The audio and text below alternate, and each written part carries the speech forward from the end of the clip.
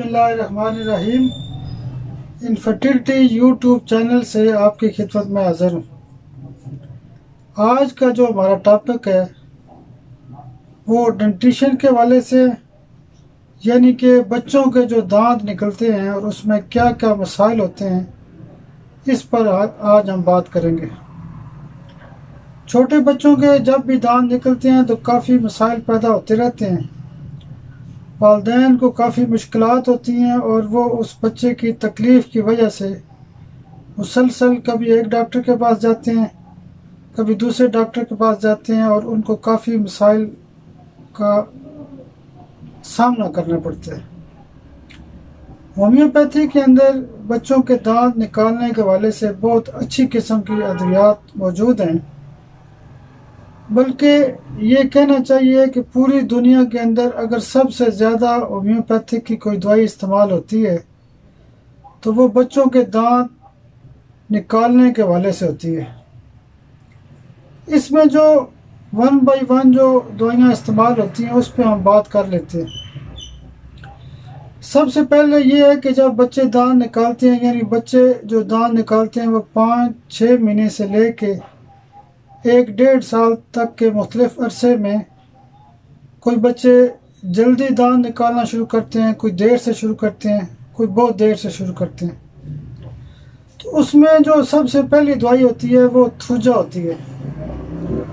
Thuja में ये इलामत मौजूद होती हैं कि वो बच्चे जिन्होंने मुख्तलिफ़ वैक्सीनेशन करवाई होती है या जिन बच्चों को पैदाइश के बाद मुख्तलिफ़ टीके लगते हैं, वैक्सीन लगती हैं तो उनको कोई ना कोई उन बच्चों को बद असरात हो जाते हैं। जब वो दांत निकालते हैं तो उनको दांत मुश्किल से निकलते हैं रिकावट होती है, उनके मसूड़े सूझ जाते हैं, उनको तकलीफ़ होती है। तो उसमें जब हम थूजा वन एम की एक डोज देते हैं तो बाकी जो दांत निकालने का जो मरला होता है, वो आसान हो जाता है। उसके बाद दो दूसरे नंबर पे जो दवाई है, वो कलकेरिया कार्ब है। कलकेरिया कार्ब जो बॉडी के अंदर जो कैल्शियम का लेवल डिस्टर्ब होता है, उसको ठीक करती है और बच्चों की ग्रोथ को बेहतर करती है। और कलकेरिया कार्ब की जब हम एक का डोज, हाई डोज देते हैं तो बच्चों के अगले एक दो हफ्तों के अंदर अंदर दांत निकलना शुरू हो जाते हैं और इसका रिज़ल्ट बहुत हैरान कन होता है। इसका बहुत यकीनी फ़ायदा है और ऐसे केसेस में एक का डोज थूजा के साथ साथ कलकेरिया कार की ज़रूर देनी चाहिए। तीसरे नंबर पे जो बच्चों के दांत निकालने के वाले से जो दवाई है, वो कैमोमीला होती है। कैमोमीला में ये मसाइल होते हैं कि बच्चा बहुत चिड़चिड़ा होता है, ज़िद्दी होता है, रो रहा होता है, घर वालों को परेशान करता है, मुसलसल, यानी ये बच्चे की ख्वाहिश होती है कि मुझे उठा के फिरते रहे। घर वाले आके बताते हैं कि बच्चा जब भी उसको, यानी जो है ना बिठाते हैं या लटाते हैं उसको तो वो रोना शुरू कर देता है। और उस बच्चे की एक ही ज़िद होती है कि मुझे उठा के फिरते रहें। तो इस तरह की जो इलामत होती हैं, उसमें कैमोमिला का ख़ास दर्जा है। कैमोमिला में एक और ख़ास बात यह है कि ऐसे बच्चों को सब्ज़ रंग के मोशन होते हैं तो ऐसी इलामत में भी कैमोमिला बहुत अच्छा काम करती है। उसके अलावा एक और दवाई होती है बेलाडोना। बेलाडोना में ये होता है कि बच्चे को बुखार होता है, बच्चे को झटके लग सकते हैं बच्चे का सर जो होता है वो मुसलसल गर्म रहता है।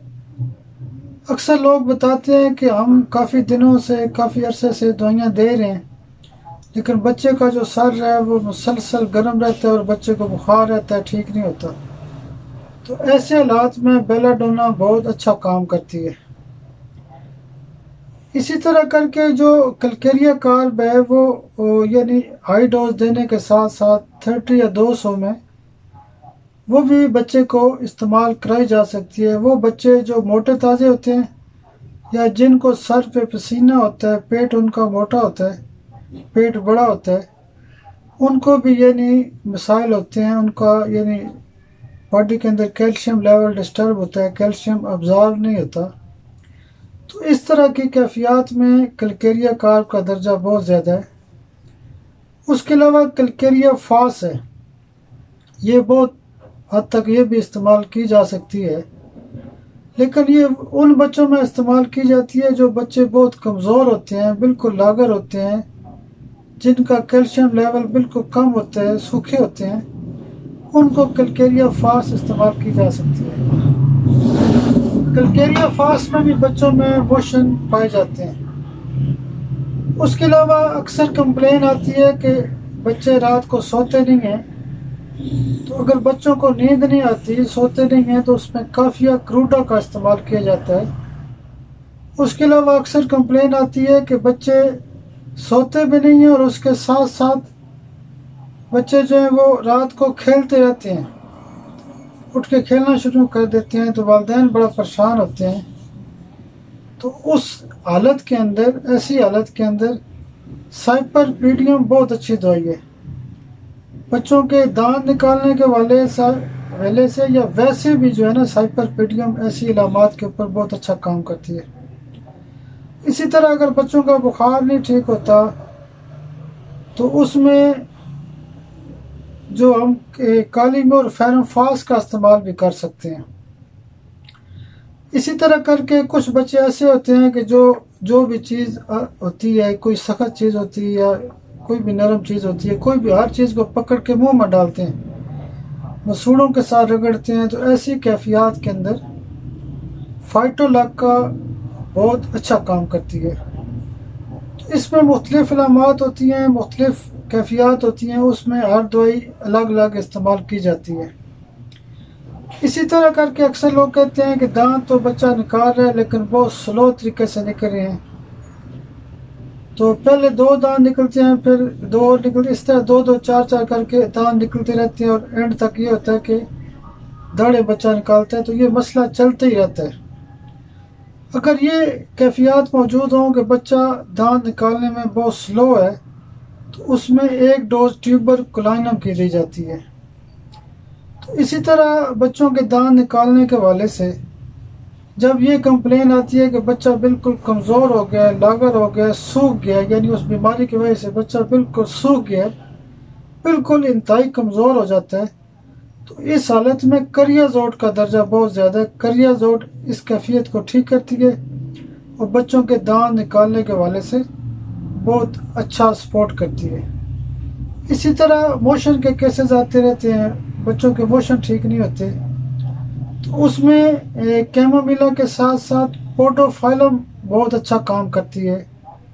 तो इसी तरह अक्सर कंप्लेन आती है कि बच्चे दांत में निकाल रहे हैं और इस उम्र के अंदर, यानी छः माह से ले कर एक डेढ़ साल तक का जो अरसा होता है, उसमें यह कहा जाता है कि बच्चा उल्टी करता है, दूध नहीं पीता। तो इसमें एथूज़ा बहुत अच्छा काम करती है और एथूज़ा के साथ साथ मैग्नीशिया, कार्ब जो दवाई है वो इस हवाले से बहुत अच्छा काम करती है। तो इसी तरह करके जो बच्चों के दांत निकालने के वाले से जो मसाइल होते हैं, वो होम्योपैथी में बहुत अच्छे तरीके से ठीक किए जा सकते हैं। होम्योपैथी के अंदर हर तरह के मसाइल का बहुत अच्छा हल मौजूद है। तो इन हम बेलाती के मसाइल के साथ साथ भी आम मसाइल को भी फोकस करते रहते हैं।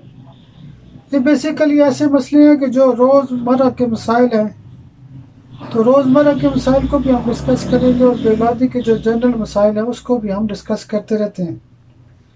तो उसमें आम तौर पे तो हमारे पास ज़्यादातर मेल और फीमेल के बांझ पान के वाले से केसेस आते हैं, लेकिन उसके साथ जनरल केस भी आते हैं। जोड़ों के दर्द के मसाइल आते हैं, गुर्दे फेल के आते हैं लिवर के मसाइल आते हैं बीपी के हार्ट के मसाइल आते हैं। तो इसी तरह के जो मुख्तलिफ़ मसाइल हैं छोटे मोटे मसाइल, उसमें भी हम ज़ाहिर उसमें होम्योपैथी में अच्छे रिज़ल्ट हैं। तो इसलिए हम तमाम मसाइल को लेके इस यूट्यूब चैनल के ऊपर फोकस करते रहेंगे। बहुत शुक्रिया बहुत शुक्रिया बहुत शुक्रिया।